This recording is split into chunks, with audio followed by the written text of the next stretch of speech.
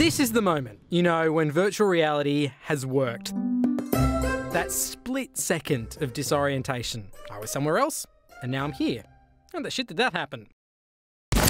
For years, this headset has gone by the codename of Project Morpheus, but today it was unveiled at Paris Games Week as PlayStation VR, easily the highest profile attempt to push virtual reality into lounge rooms. But does it live up to the hype? Well, there's only one way to find out. The safety word is bananas. Okay, So if you need to get out, the safety word is bananas. Close your eyes and we'll take everything off it for you.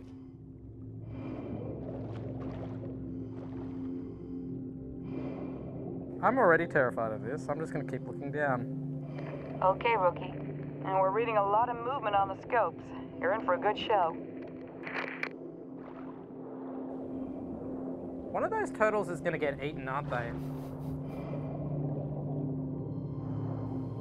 Eyes open? Can you see me? Can I f- curl up into a ball? you gotta have your eyes open.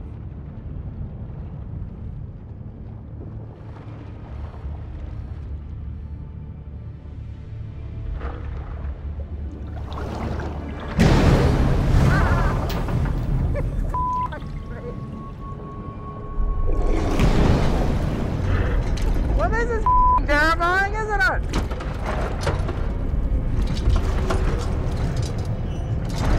Bananas!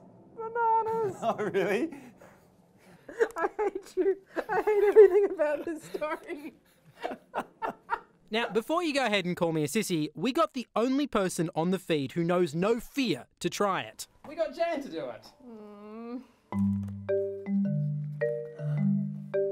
Oh my god. Nope. Thank you so much. Goodbye. I didn't even survive in like tranquil underwater settings. I'm like, nah, it's just too. That's the shortest we've done. Keep your eyes peeled. You ain't clear yet.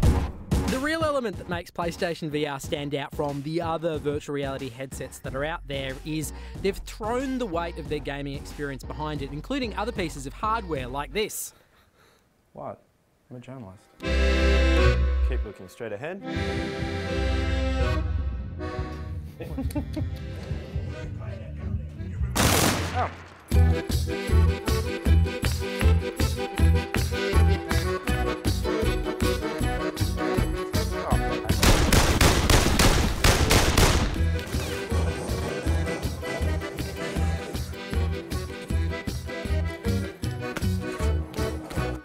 Reload a little more gently. Hey.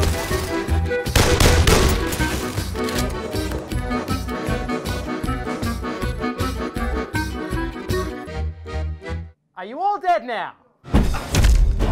The games that will succeed are the games that understand the grammar of this medium, that use a visual cue to provoke a head turn that then triggers another action. Stand up. The mechanics of that already exist in gaming.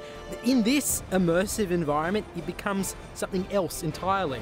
I'm gonna kill you a little piece of I don't give a monkey's bank fixer, batcha. I don't trust you. There's also sort of obvious genres that will make more sense than others. Cockpit games, definitely yes. First person shooters, just die. Just f***ing die. Eh, be prepared to stub your toe and maybe get a bigger lounge room. Why won't you die?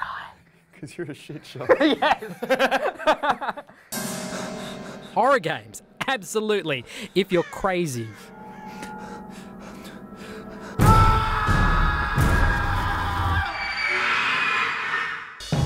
Truth is, though, that PlayStation are late entrants into this market. Oculus are the company that have really driven the rebirth in virtual reality recently with a range of headsets that are a fraction of the cost. There's this one here, which is a co production with Samsung, that is you guessed it, it is literally powered by a smartphone.